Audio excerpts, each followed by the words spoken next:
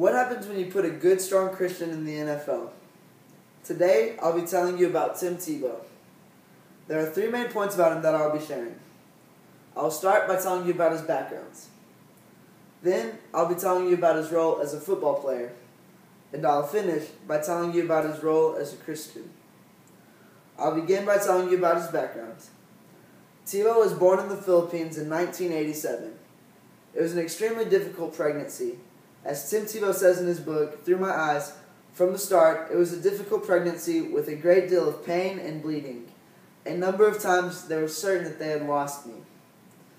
With the fear of losing their child and the stress of doctors telling them to abort him, Tim Tebow's parents stayed strong in faith and prayed. They never considered the idea of abortion, and miraculously, Tim Tebow was born a healthy baby. Tim lived in the Philippines until he was three, and he moved back to America with his family in 1990. There, he was homeschooled as a child.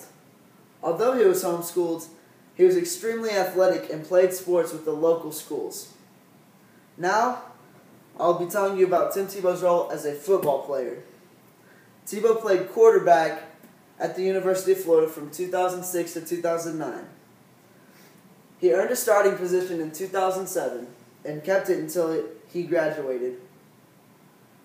At Florida, Tebow won a national championship in the years 2006 and 2008. As stated by Tim Highland, author of Tim Tebow, one of the greatest, against Oklahoma in the 2008 BCS National Championship game, Tebow threw for 231 yards and two touchdowns. He added 109 rushing yards to lead the Gators to a 24 14 win. Tim Tebow also won the Heisman Trophy in the year 2007. This made him the first college sophomore to ever accomplish this great feat. Finally, Tebow was drafted to the Denver Broncos in the year 2010. Although Tebow enjoyed much success in, in college football, Tebow struggled in the NFL. He, his th- throwing form discouraged many, many NFL teams from drafting him, and it kept him from ever being extremely successful. One of his greatest accomplishments in the NFL was in the year 2011.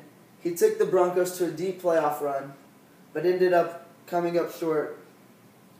Lastly, I'll be telling you about Tebow's role as a Christian.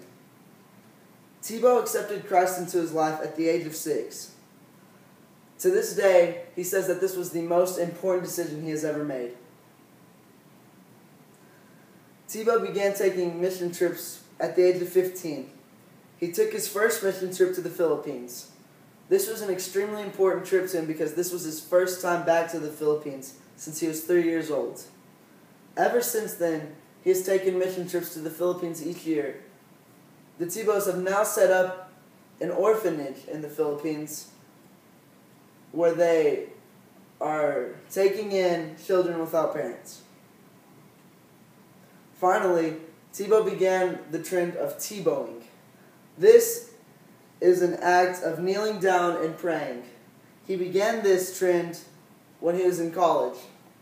Every time he would score a touchdown, he would kneel down and thank God for this success. Ever since then, it has grown, and many, many people across the U.S. are doing it. In conclusion, I just told you three different things about Tim Tebow. First, I told you about his background and his childhood, and about the struggles he faced when he was young. Second, I told you about his role as a football player, his success and his failures. I finished by telling you his role as a Christian. The most important things that he, the, the things that he finds most important. When you put a good, strong Christian in the NFL, you get results like Tim Tebow. I had the privilege of meeting Tim Tebow once, and I can testify that his faith is in fact real.